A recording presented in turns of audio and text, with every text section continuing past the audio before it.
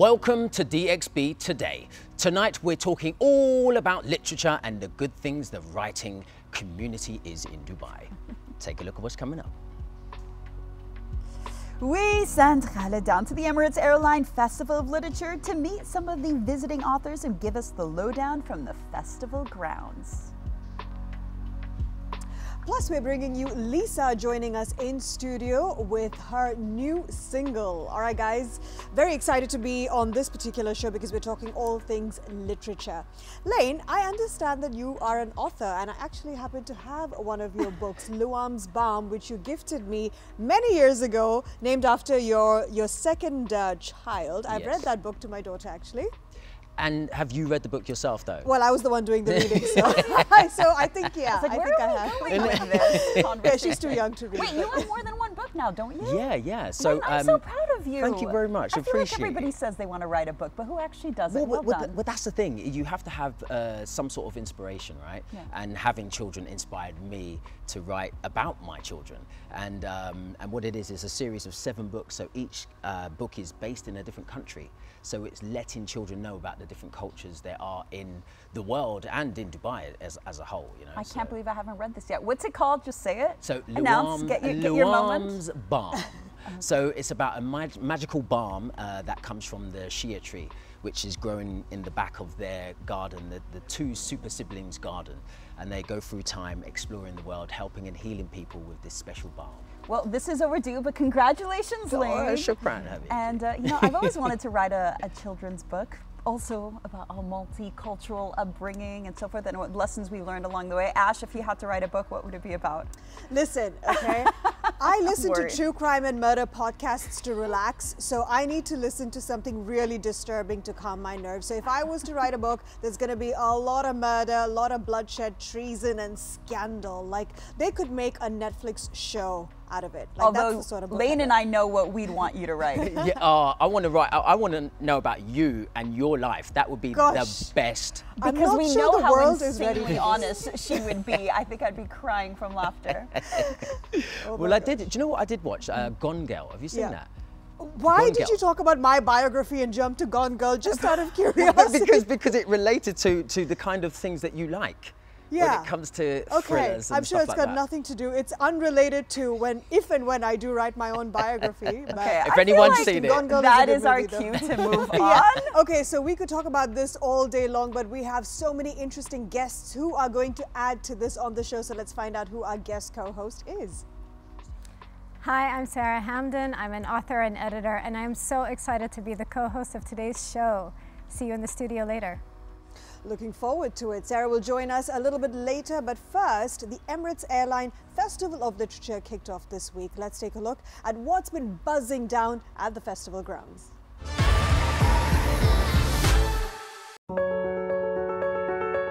Hey, I'm here at Emirates Airlines Festival of Literature where stories happen. Today I get to meet extraordinary people who change the game of literature, especially we're focusing on AI, tech, future technologies, and as well stories. But as well, we get to meet a very important person, the First Lady of Iceland. I'm here with Rebecca Yarros, who's a world selling author and as well with over 15 novels. It's a pleasure having you here today. Thank you for having me. First question I would love to ask is how did your journey all start? Sure. I started writing. Um, I gosh, I was 29 when I graduated college, so I started writing at 30. Um, my husband was gone, and I spent a page a night. So I wrote a page a night for a year, and when he came home, I had an entire book finished. Will one of your books might be on the big screen or TV? So Fourth Wing has been um, optioned by Outlier Society and Amazon Studios. So we're looking at a TV series. Okay. I just had two meetings on it last week. They're Okay. all wonderful and they're very protective of the Okay. project. It's really exciting. It sounds very exciting. And uh, what advice could you give to any upcoming writer?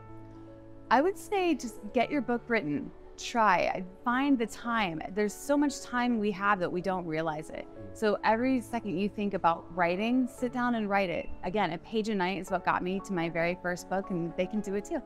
Well, that sounds very exciting. It's a pleasure having you here with us today. Thank you so much. Thank you for having me. I'm here with Tony Fadell, who is a best-selling author who has worn many hats. You might know him from different industries of Nest and Apple. It's a pleasure having you here with us today. And uh, please tell us, how did you start your journey? Well, thanks, Colin. Great to be here. Um, I started my journey, well, I started way, way back. I don't know where we want to go, but I started back when I was a kid. Um, I started building things and tearing things apart when I was four or five years old with my grandfather. And then the computer finally showed up. So I started doing computing in 1979, 1980. Um, but most, most of my stuff has been my time when I went to Silicon Valley in 1990s. And I went to work for a company called General Magic. And we were creating the iPhone 15 years too early and that was a huge failure. But then ultimately, I got to do the iPod at Apple and then the iPhone at Apple, uh, and then my own company Nest, which was then sold to uh, to Google in uh, 2016. And now becoming an author, what advice do you like giving to people? To be honest, the reason why I wrote the book was because people ask for my advice all the time. Mm. And so I was really tired of hearing myself saying the same stories over and over to people. So I put them all in this book. Okay. But really the reason for the book is to honor my mentors. The only reason I'm here sitting here talking to this audience, sitting here talking to you, is because my mentors helped me to get to where I am today. They helped me with all kinds of knowledge, all kinds of connections, things of that nature. And so I wanted to give this book back and honor them. And because most of them had died. So I wrote this book in honor of them as they help me, I want to help the next generation of builders to create the world around us. And what advice could you give to anybody starting off? Don't be afraid to fail.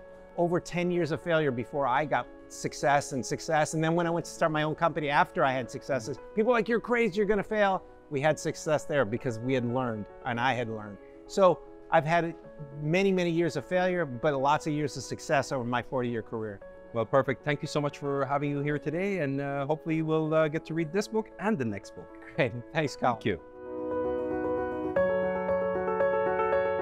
I'm here with Eliza Reid, who wears many hats, from being the First Lady of Iceland, as well author, advocate, and writer. It's a pleasure having you here with us. Thank you for the invitation. Tell us about your adventures from Canada to Iceland.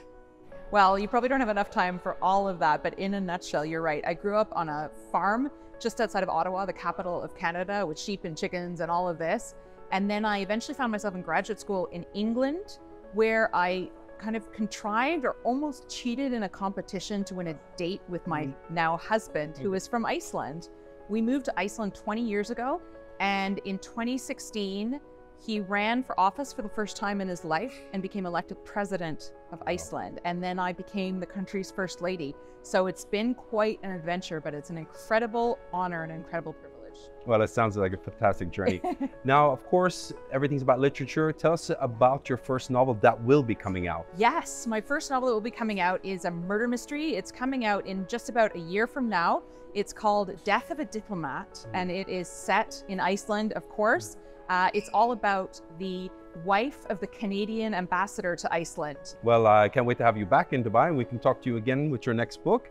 It's a pleasure having you here with us today. Thank and, you so uh, much. see you again. Thank you for the invitation. Thank, Thank you. you.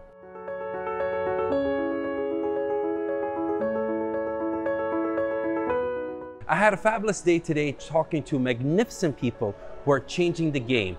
We can't wait to see what will happen in the future, especially in literature. Now, our co-host today is a storyteller, editor, exploring the themes of cultural identity and expression through her work. Having recently closed a major two-book deal with American publishers Holt with her debut novel, What Will People Think? Please welcome Sarah Hamdan to the show. Woo! Thank you so much for having me. So Sarah, tell me about how it came together with this major two-book deal. Honestly, this is such a pinch me moment to even be here talking about it because it's been a long journey. It's been 10 years in the making of rejections, of having kids, job losses, COVID, pandemic, all of this, leading to these two manuscripts getting snapped up in a two book deal after a major auction in the US. It's the biggest book deal in the region, but it's also major for any American writer. And I just couldn't be more proud to see my baby finally coming out in the world next February, hopefully.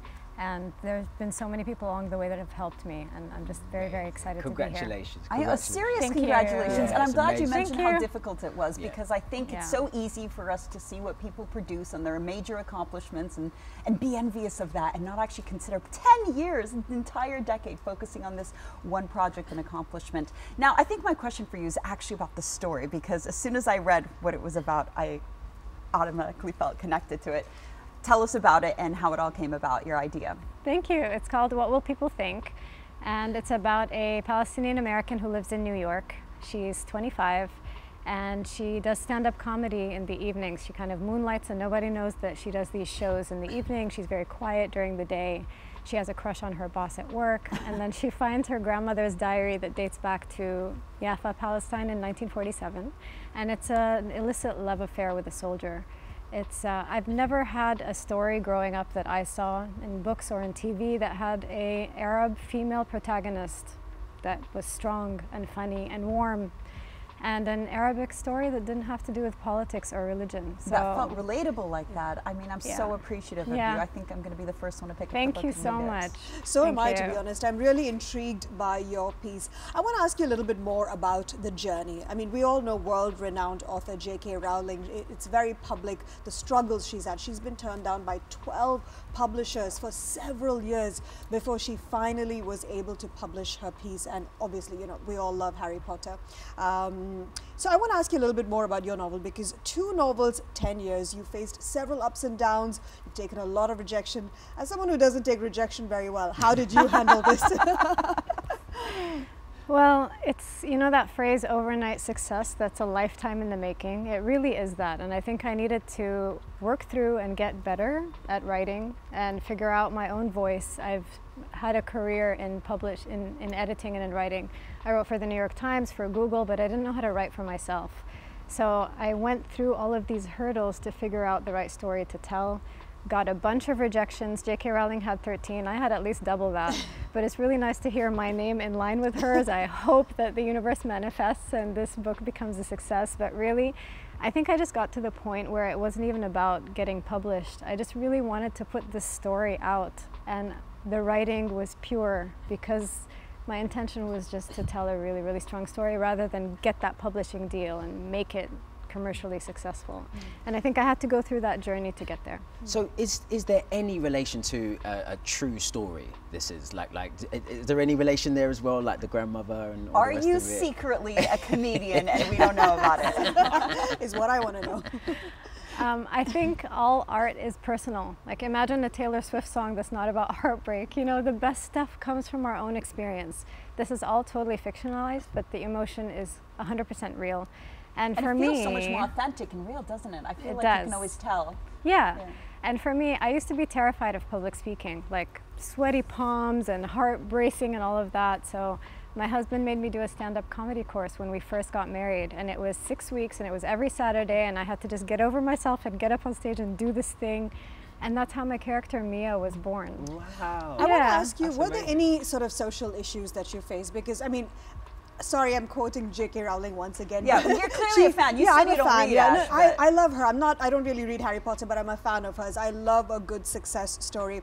Another thing she mentioned was that her publishers suggested that she changes her name so that it, you know, the person, the readers cannot tell her gender, just because they thought that young boys are less likely to read a book if they see a, a woman's name on the cover. Have you faced any prejudice because uh, of being a female author? And an Arab also. Yeah. I was prepared for it, but none whatsoever. If anything, it's the other way around. I learned that in fiction, 20%, no, something like 90% of people who buy fiction are women. So my audience is there already built in in the story.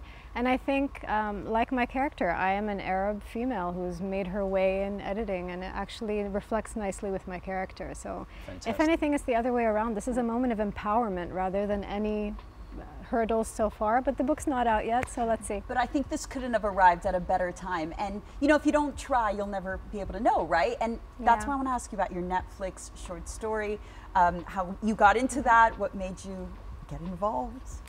I was getting a bunch of rejections on manuscript number one, and it was the middle of the pandemic. I had left my job. You know those moments in life where you're like, I have no idea what I'm doing with myself. And then I saw a competition on Netflix's Twitter handle asking for a one-page short story with a back with a character that has the same background as wherever you come from. I'm mm-hmm. Palestinian American.